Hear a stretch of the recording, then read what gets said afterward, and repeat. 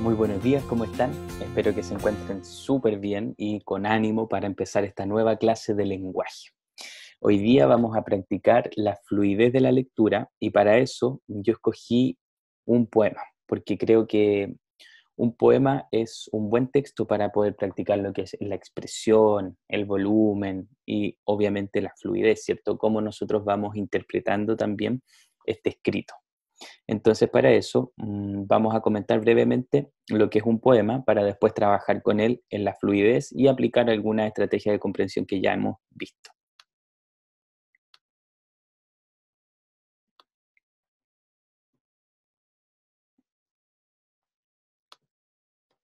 Muy bien. ¿Qué es un poema entonces? Aquí yo les tengo un ejemplo, que un poema que se titula Quiero ser pintor, ¿ya? Y em, bueno, se nombran algunas partes del poema, ¿ya? Tenemos la estrofa, que es este conjunto de frases, ¿ya? Tenemos el verso, que son las frases propiamente tal, que cuando hay varias frases eh, conforman lo que es la estrofa, ¿ya? Y también tenemos un elemento muy importante que es la rima, ¿ya? ¿Qué significa la rima? Principalmente eh, palabras que terminan con los mismos sonidos, generalmente, y em, suenan muy parecido al terminar. ¿ya? Entonces vamos a leer esto y vamos a ver el tema de la rima después con, con las palabras destacadas. Blanco, eh, bueno, primero el título. Quiero ser pintor. Blanco es mi lienzo, blanco es mi corazón. Todos los días rezo por pintar con un color. ¿Se dan cuenta acá? Lienzo y rezo están terminando prácticamente con, con los mismos dos sonidos. O, ¿ya? ¿Por qué no puedo pintar? Pues ahora te lo diré, pues yo no puedo pensar lo que dibujaré. Diré, dibujaré. ¿Ven? ¿Lo notan? Un campo con flores, unas flores con un campo, las flores de colores y el campo bien amplio. Flores, colores. ¿Ya? Entonces ahí también podemos notar nuevamente cómo terminan esas palabras con los sonidos iguales, ¿ya? Y forman esta rima.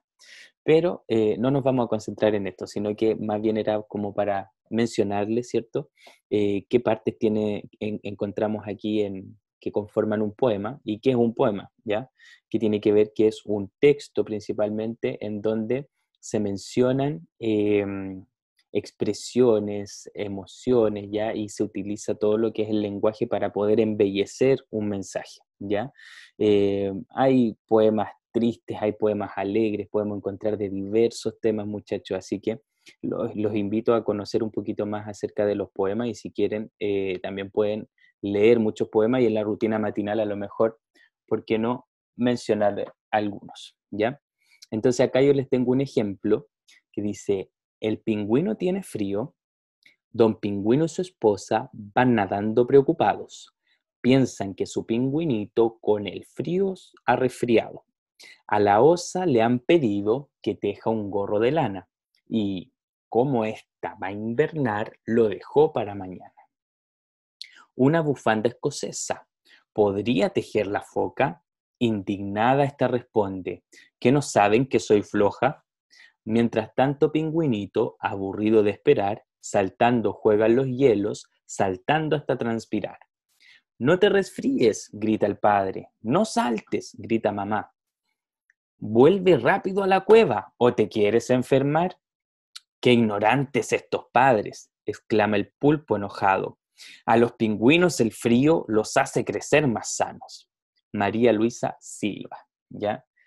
Entonces, aquí yo hice un intento de leer este poema con la mayor expresión, ojalá con la mayor fluidez y todo, pero tengamos presente que mientras más nosotros practicamos, mejor van a ser nuestras lecturas. ¿ya? A lo mejor si yo practicara mucho más este poema, podría expresarlo de mejor manera, el enojo, por ejemplo, ahí cuando eh, expresa el, el, pulpo, las preguntas o las exclamaciones que hace la madre, el padre, el pingüino, ¿ya?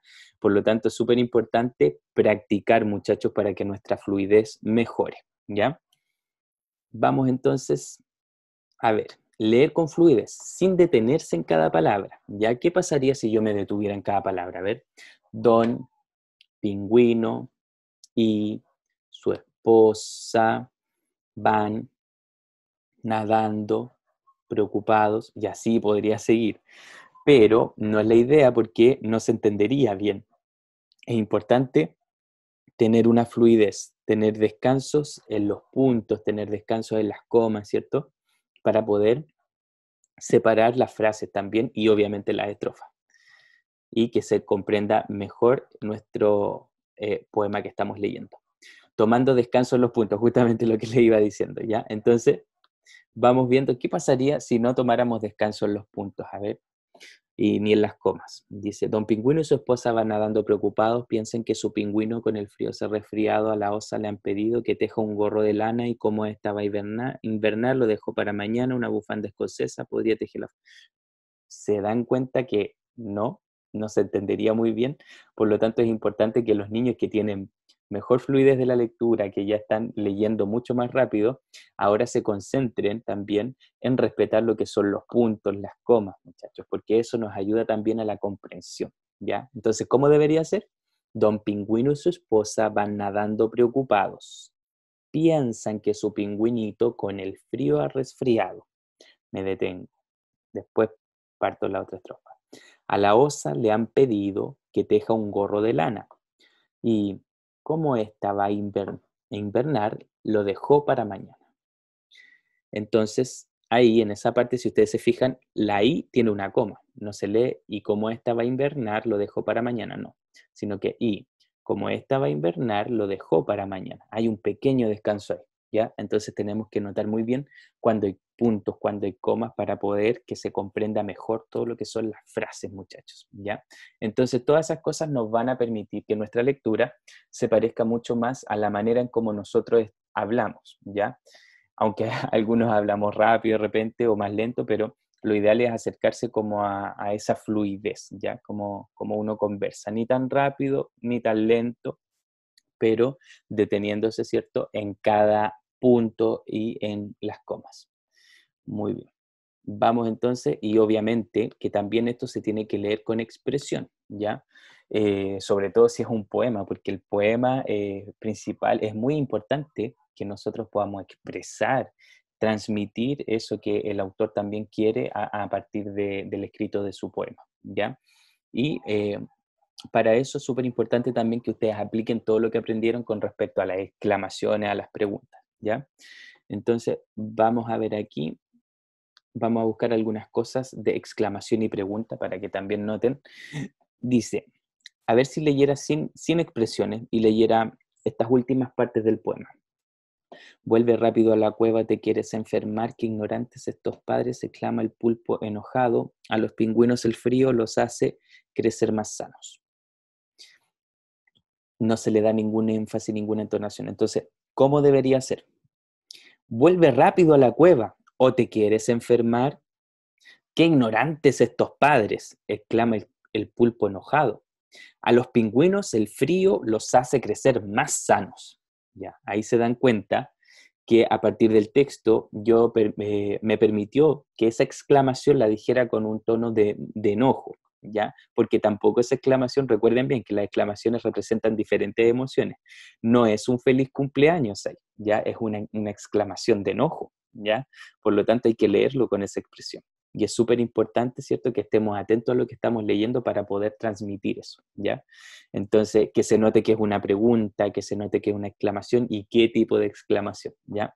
Por eso, lo que les decía hace un momento atrás, la práctica es súper importante, muchachos, para mejorar nuestras lecturas, porque eso nos permite eh, conocer esa lectura, ese texto y poder expresarlo de una mejor manera, ¿ya? ¿A qué se refiere? ¿Cuál es su contenido? ¿Ya?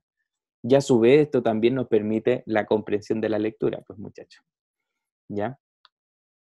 Vamos entonces a, ya tenemos las expresiones y em, bueno, vamos a la última parte en donde ustedes ya, este es un terreno conocido porque en realidad para que vean que a partir de un poema nosotros también podemos aplicar estrategias de comprensión que ustedes ya han trabajado en clases anteriores.